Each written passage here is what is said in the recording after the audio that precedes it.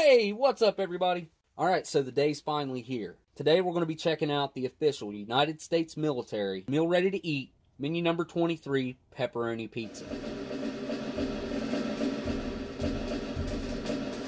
Now, this Holy Grail MRE has been in development for a long time. I'm talking like 30 years. It's been made possible by the wonderful food scientists over at Natick Food Labs, who didn't give up on this thing after so many tough complications.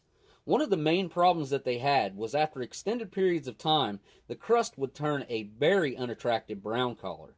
Also, early on, they had mold issues and they had some other things going on, and that's the reasons why we haven't seen MRE pizza until now. All right, let's go ahead and check this thing out. Right here at the bottom, there is a date code, and it's 8176, which is the 176th day of 2018. So this is a very fresh MRE, and it was produced by Ameriqual Packaging, Evansville, Indiana. You can see right there, official U.S. government property. Commercial resale is unlawful. let's go ahead and get this thing opened up. I'm going to cut it from the back because I usually don't keep MRE bags, but this one is a little bit different, and I probably will keep this one.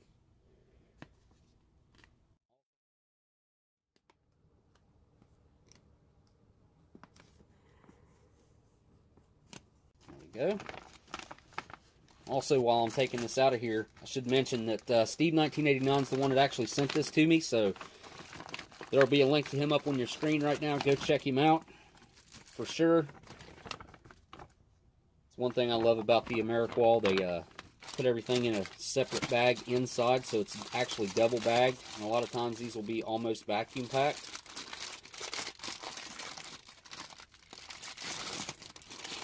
Alright, so let's see what all came in this. First out, we have some cherry blueberry cobbler. And there's your nutritional facts for the cherry blueberry cobbler.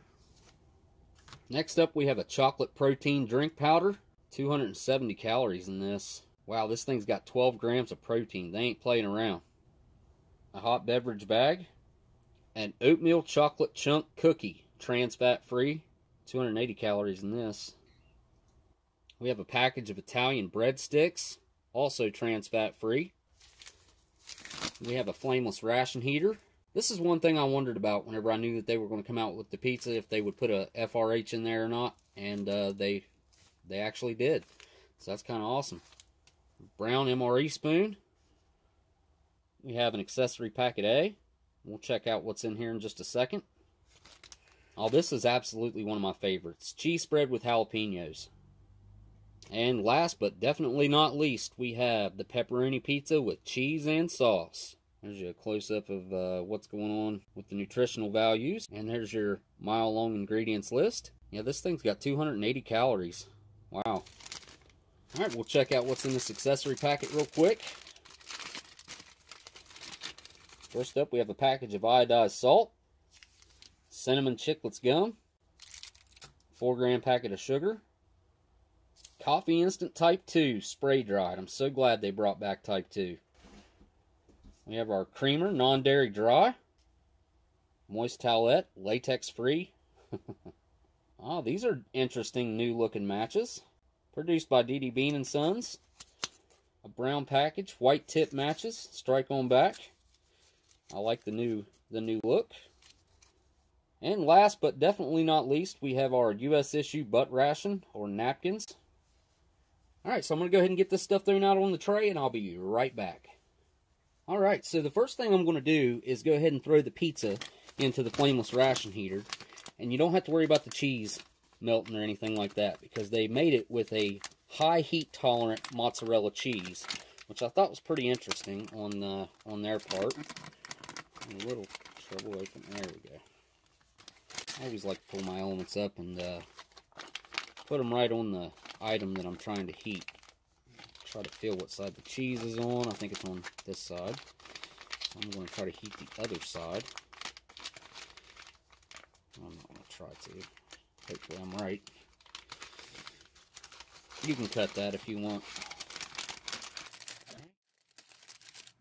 And we're also going to throw our cherry blueberry cobbler in there because it does bring out the flavor when you heat this cobbler up. So That in there as well.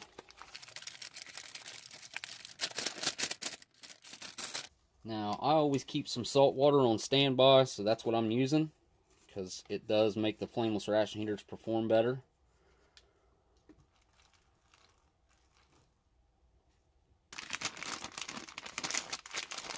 Fold that over. We'll use our cherry blueberry cobbler sleeve. Slide it over like so.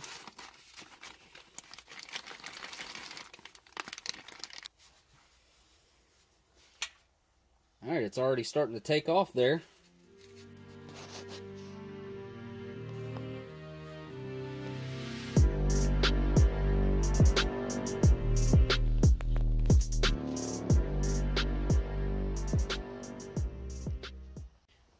Alright, I'm going to set that back here on uh, my rock or something.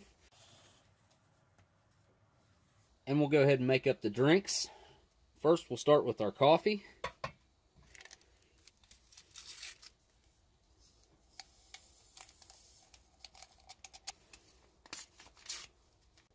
I love the way that smells. I'm a big fan of the Type 2 coffee.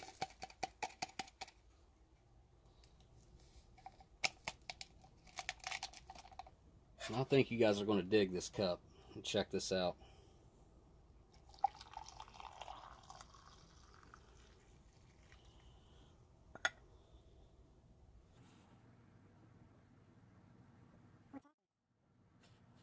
Is that Bob Ross on a coffee mug? Check it out. The man himself, Mr. Bob Ross. Guys let me know down in the comments what, what you think about this coffee cup. Alright, next we'll get our chocolate protein drink powder mixed up.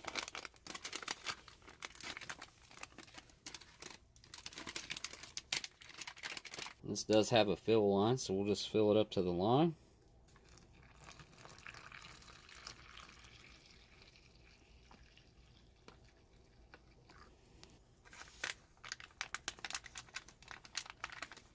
Close it up, fold it over, and give it a really good shake.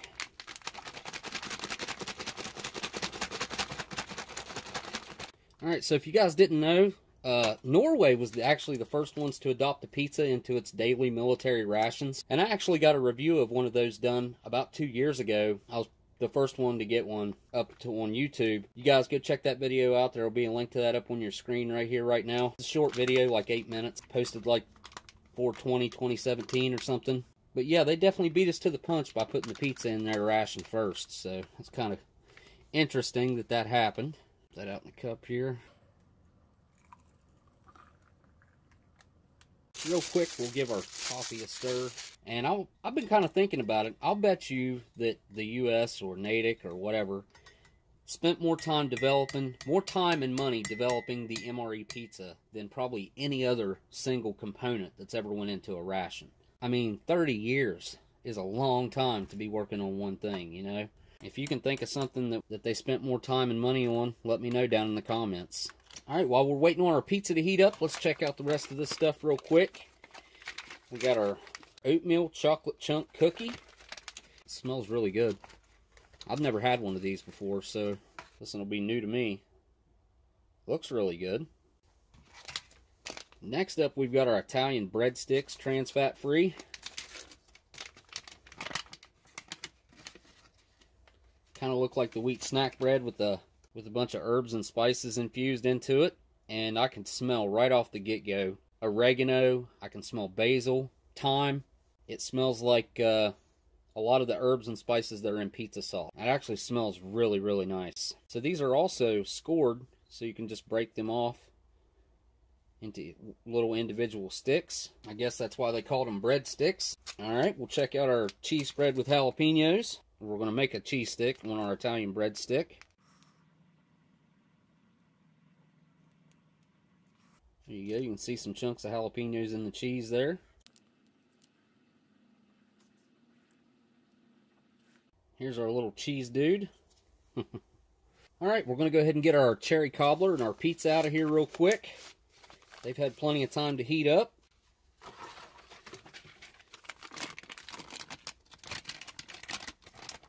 Well, this has the tear notches to do it long ways. But since I'm going to be dumping it out on the tray, I'm just going to cut it real quick.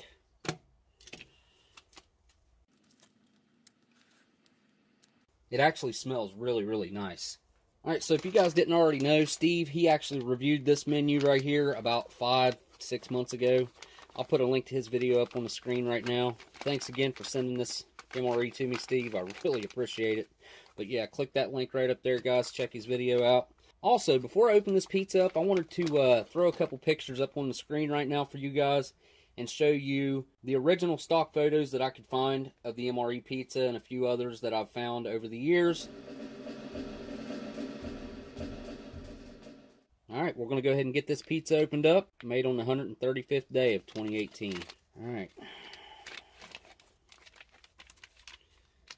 smell it.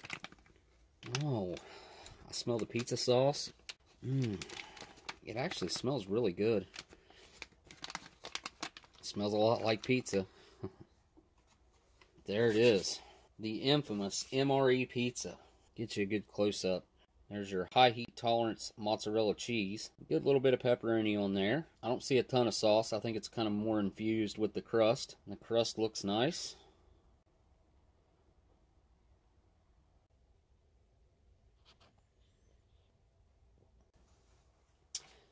Now, the Norwegian Arctic pizza that I had before, it was actually bacon soy pizza. And this one right here is the real deal, pepperoni pizza. So I can't wait to get into this. It's uh, very nice and pliable right now. It's nice and soft, as you can see. It's got a lot of flexibility to it. All right, here we go, down the hatch.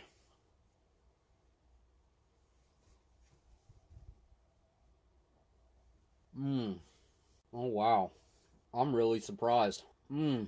I'll tell you, the flavor just exploded in my mouth. Tons of herbs and spices going on there. The pepperoni's flavor is really pronounced. That's something I was lacking on the other pizza that I had.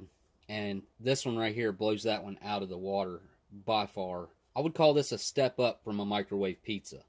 The crust is thick, fluffy, has a really nice flavor to it. It's way better than I expected, honestly. I didn't expect it to be as good as what it is, so uh, forgive me. I've got to get another bite. Yeah, I'm blown away by this. It really is outstanding. I guess really the main question is, did it live up to all the hype? And from my perspective, absolutely it did. To be able to peel a piece of pizza out of a package like that after it's been sitting there for almost a year, I'd love to see this three, five, ten years down the road. I can't wait until those opportunities come about and we can uh, check on the science of this and see how well it's holding up to the test of time. But as of right now, I am definitely impressed with the MRE pepperoni pizza. The pepperonis have a really nice flavor. The crust is nice and fluffy. The sauce obviously is there because the flavor's there. It's just not a liquidy substance on top like, you know, you'd be used to on a piece of pizza. But as bad as I hate to, I'm going to move on to a different item and we're going to check out the Italian breadsticks with jalapeno cheese spread. And these just look amazing. Give this a try. Wow, I've got to say, I'm pretty impressed. I don't remember the jalapeno cheese spread having as much heat as this has. The Italian breadsticks are kind of sweet They've definitely got a lot of that basil and oregano and parsley flavor. These things right here are uh, 10 steps above a wheat snack bread in my opinion. Much, much better. I didn't try one on its own, and I want to do that. Check out that cross section with the herbs and spices injected in there. Really nice. Yeah, they got a little bit of a sweetness to them, and they're just filled with flavor. They're really, really nice. Compared to a lot of the bread products that they put into MREs, these things are a step above. And with the jalapeno cheese spread on top, I mean, you can't do much better than that. The jalapeno cheese spread is fantastic. While I'm thinking about it, I want to try a little bit of the jalapeno cheese on the pizza right here on the corner. This cheese has actually got a good little bit of heat to it, which is not how it usually is. Usually it's quite mild. It does have a good bit of heat this time. you guys can't see me, but I'm I'm doing a little bit of a dance over here, man. That I didn't think that pizza could get any better, but with the jalapeno cheese on top, it added some heat, but it also had it added a creamy, um, like a liquidy texture that it was missing, plus that added cheese flavor. Mm. So I'm going to try out this chocolate protein drink. Let's see how it is. I would call that milk chocolatey. It's thick, it's rich, it's creamy. I have a feeling that's going to go really well with our cookie over here. I want to try the Type 2 coffee before I get into the cobbler real quick and see how it is. Oh, that is just smooth, robust, very flavorful. It doesn't have that burnt or sour or any of those weird flavors that come through in some of the other instant coffees. The Type 2 is one of the better coffees that I've ever had out of any of the U.S. rations. Alright, so I want to try this cobbler out while it's still warm and get some of that bread in there. Also a cherry. Looks really good, doesn't it? That's a really nice mild dessert. It's not overpowering with the whole lot of sweetness that's just kind of drowning out all the flavor. It's got all kinds of natural fruit flavor. That syrup's kind of sweet, but the cherries are really nice, and that breading Gives it a nice creamy texture, and you get that breading flavor. Mmm. Alright, so that leaves me with the oatmeal chocolate chunk cookie back here. Wow, look at that. Talk about some chocolate chunks. Those are big old chocolate pieces. So I'm going to give this a try by itself. Well, that's a really good cookie. It's got a lot of roughage to it, like you uh, would expect with an oatmeal cookie, but in my experience in other oatmeal cookies that I've had, they were just more like a standard, you know, chocolate chip cookie or something with that sort of texture. This feels like you're chewing a whole lot of individual oats, like it's roughage, which in my opinion is what I look for in a cookie like that. You can see that there's a whole bunch of oats in there. And the flavor, it's not overly sweet like you would think it is. I kind of assumed this was going to be very, very sweet. The chocolate isn't overly sweet. I would call it a very mild chocolate. I think this is going to go really well with the chocolate drink. I'm going to try them together right now. Yeah. That's really tasty either way. Chocolate protein drink doesn't do a whole lot for the flavor of it, but it does soften it up some. Kind of reminds you of being at home and dunking your cookies in your milk or something like that, which is pretty nice. Now I want to try it in the hot coffee also and see how it fares in the hot coffee.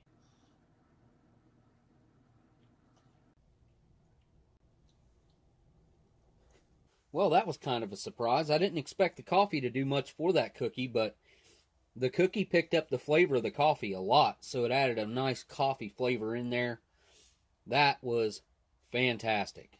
But yeah, like I said earlier, it did. It lived up to the hype. The pepperoni pizza, they knocked it out of the park. They did a very good job. I think they spent a lot of time on it, but I think it finally paid off in the end. They they have a really good product here and I think it's probably going to be around for a long time. And if you were out in the field craving pizza and you had one of these right here, it would definitely hit the spot. Also, earlier I said I can't wait to see what this thing's going to look like three, five, ten years down the road. It'll be really interesting to see scientifically what happens to these things 10 years down the road. This has been a great opportunity and a great experience. And I want to say a huge thanks to Steve1989 again for sending this thing to me. Dude, I really do appreciate it, man. Also, my first pizza review that I had up was thanks to Shawker71. You guys go check out his channel if you want. Links to both those dudes are going to be down in the description, and I'm also going to make one down in the comments, so you guys go check them out. Now, I also want to thank each and every one of you guys for taking the time out of your day to come over here and check out my pizza video. I really appreciate you guys taking the time out of your day to do that. Then that brings me to thanking my patrons. There will already be a list of them up on your screen right now. I really appreciate everyone who donates over there on Patreon. There will be a link to that at the end of each video if you guys want to go check that out.